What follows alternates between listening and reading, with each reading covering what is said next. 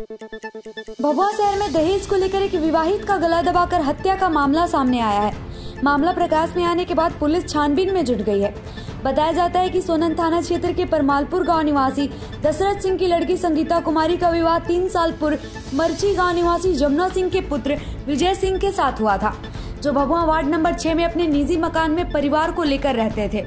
लड़की के पिता का कहना है कि पति और उसके ससुर देवर एवं अन्य लोगों द्वारा दहेज को लेकर प्रताड़ित किया जा रहा था और 10 दिन पहले मोबाइल से गाली गलौज देकर धमकी दिया गया था। और सोमवार की सुबह लड़की की मृत्यु की सूचना प्राप्त हुई जिसके बाद लड़की के पिता के द्वारा भभुआ थाने में प्राथमिकी दर्ज कराया गया। का मामला बा? मामला भैया हमसे सात बजे लड़की बात की।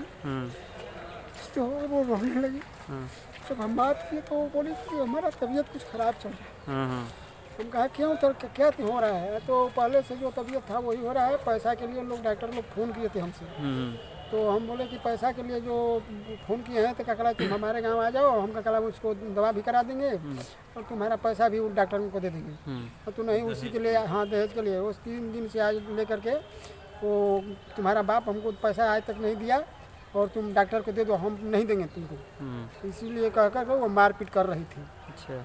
तो हम बोले कि तुम हम आएँगे इस बेरा कि तुम आओगी तो नहीं रहने दीजिए पिताजी हम सुबह में आ जाएँगे। हम्म, तो हम सुबह जब हुआ तो हम उसको आठ बजे फ़ोन किए। चार बार फ़ोन किए तो फ़ोन उठा ही नहीं उसका फ़ोन स्विच ऑफ़ बताया।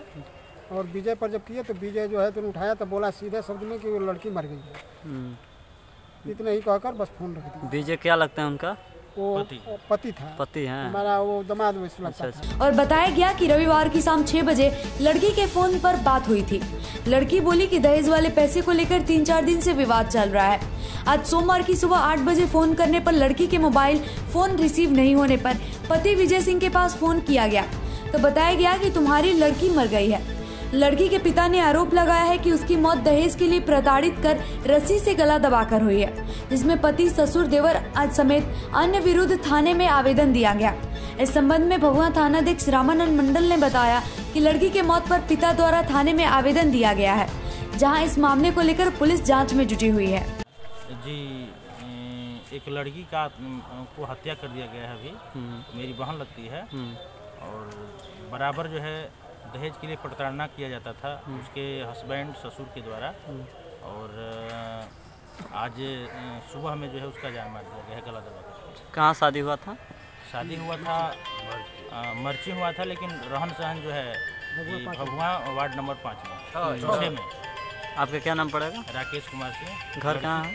मेरा घर भैंसोला है मैं लड़की का भाई हूँ। अच्छा ठीक।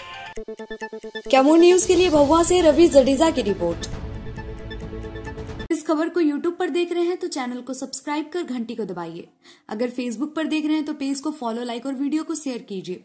और कैमूर ज़िले की तमाम खबरें सबसे पहले अपने फ़ोन पर पाने के लिए प्ले स्टोर से कैमूर न्यूज़ ऐप को इंस्टॉल कीजिए।